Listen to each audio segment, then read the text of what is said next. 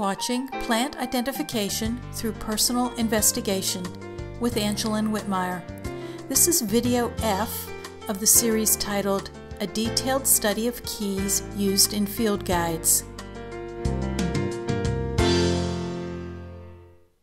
In this video, we'll use another approach to identifying a plant, the patterns method.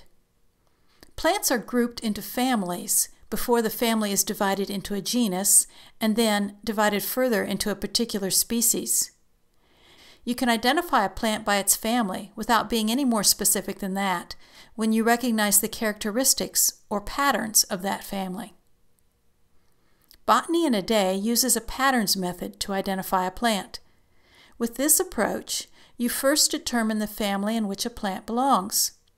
This narrows down the subsequent number of plants to look through for your unknown plant because you will only need to look through a field guide, organized by families, at the plants in that one family.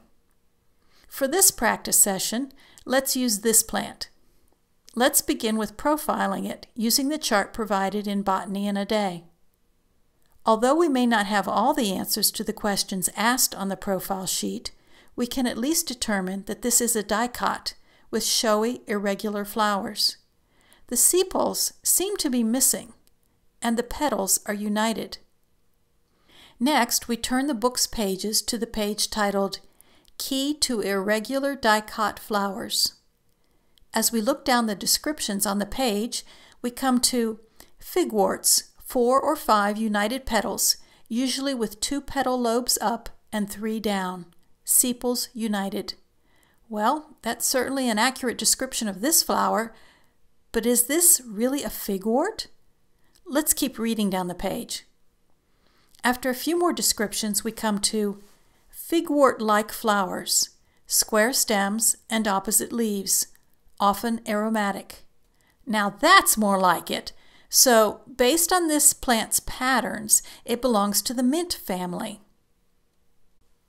Looking in the index for Mint family, we are directed to page 147, which provides even more information about the mint family, which has the scientific name of Lamiaceae.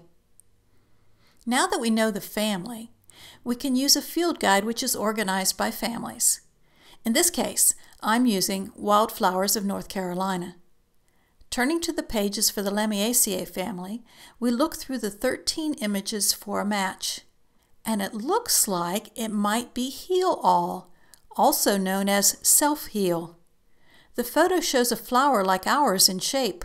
However, the flower color is not the same, so we'll want to confirm our identification by looking through other field guides or resources. A search on the USDA plants database shows this flower is typically purple. So now we know for sure that this is heal all with the scientific name Prunella vulgaris. Using the patterns method of identification may be all you need or want as you identify a wildflower. Perhaps knowing the flower's family is enough.